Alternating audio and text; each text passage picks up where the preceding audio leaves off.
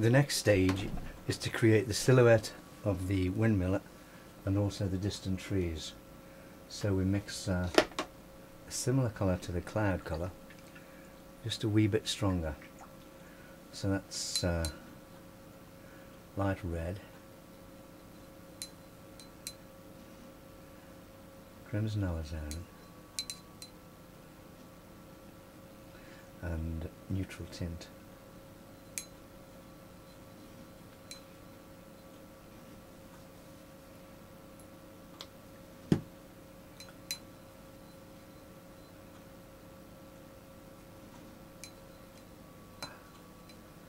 Too much neutral tint.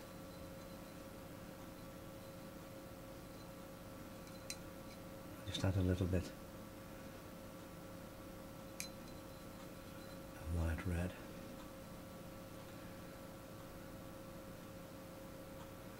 And crimson alizarin.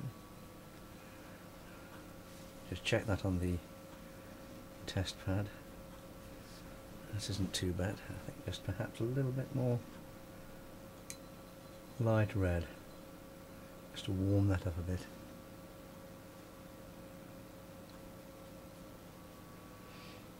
Now it doesn't it doesn't need to be too strong. There's a tendency at this stage to do the distance silhouette just that little bit too heavy, too strong a colour.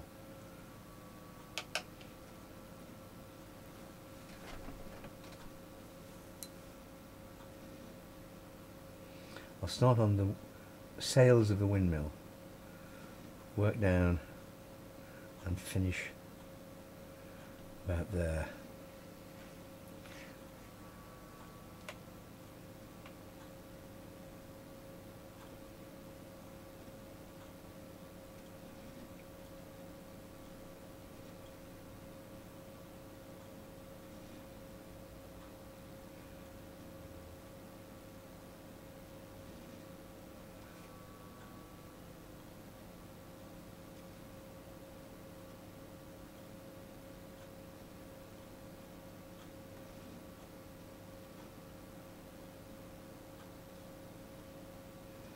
Haven't drawn all the uh, work on the sails. But uh, this is a point where you can put more cross pieces.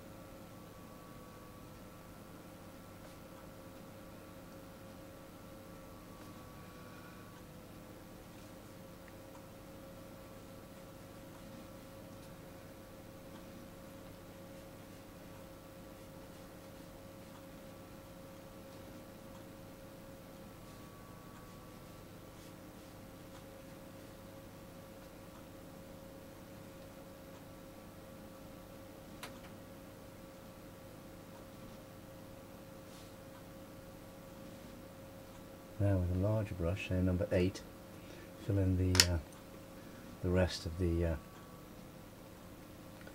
silhouette.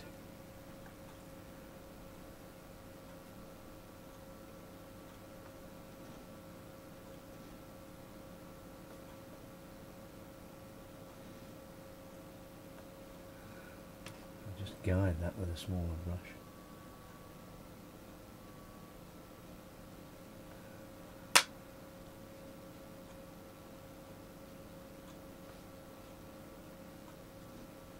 When you reach that point you can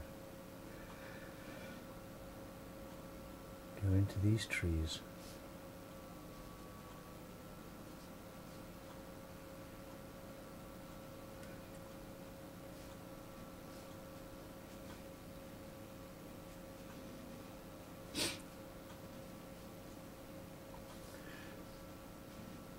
Leave a little gap or two as though the sky can be seen through the branches.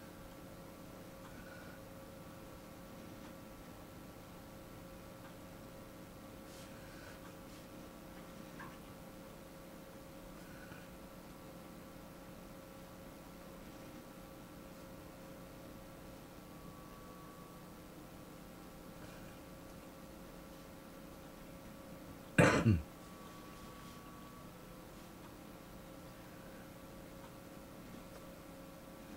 you can see, it's not too not too dark at all.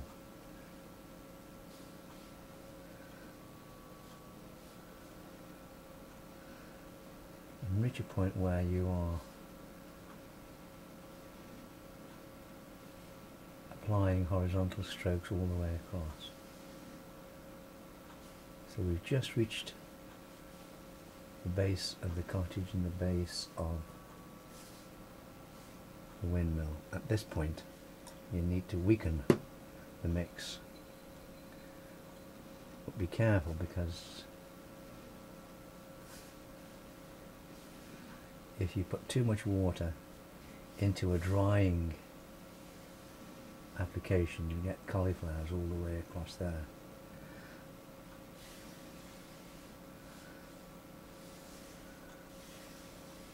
So that should be okay keep our fingers crossed that that dries okay. That would be the danger. Watch out for it. As you come down, your colour is starting to run out and when you add your water, there is a danger that the water you add to the bottom of the wash is far wetter than the colour that you brought down. Hence you get an, a potentially ugly mark all the way across. But keep my fingers crossed and hope it dries okay.